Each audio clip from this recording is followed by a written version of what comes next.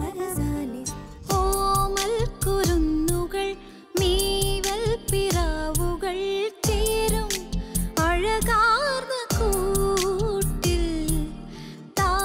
ഇല്ലായ്മകളോട് പടവെട്ടിയാണ് സീതയുടെ ജീവിതം ഇതുവരെ എത്തിയത് ദുരിതങ്ങളുടെ സങ്കടക്കടലിൽ നിന്നും കരകയറി കല്യാണമൊത്തുള്ള സന്തോഷകരമായ ജീവിതം അവൾ സ്വപ്നം കണ്ടു തുടങ്ങി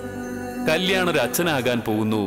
എന്ന സന്തോഷകരമായ വാർത്ത കേൾക്കാൻ വേണ്ടി കാത്തിരിക്കാൻ ഞാൻ എനിക്ക് പ്രതീക്ഷയുണ്ടോ അങ്ങനെ ഒരു സന്തോഷ വാർത്ത നീ എനിക്ക് തന്ന പിന്നെ ഞാൻ നിന്നെ എന്റെ കൈകളിൽ നിന്ന് താഴെ ഇറക്കില്ല പക്ഷെ ഈ സന്തോഷം ഇനി എത്ര നാൾ സോറി മോനെ രാവിലെ നീ കണി കാണുന്നത്